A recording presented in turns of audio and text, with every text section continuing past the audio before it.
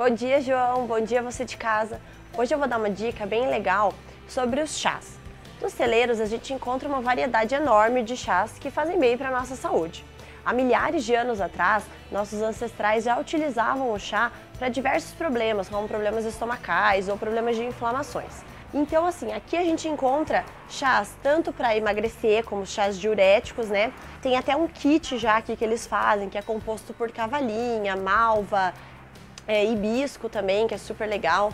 Só que a gente tem outro, uma enorme variedade também de chás anti-inflamatórios que vão ajudar em pequenas inflamações do corpo, como dores de garganta, inflamações de articulações e outras dores que a gente sente no corpo também. Além desses chás, a gente tem chás digestivos também, chá de hortelã, alguns chás que vão fazer com que a gente se sinta melhor após alguma refeição.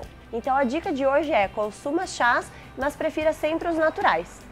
Volto com você, João.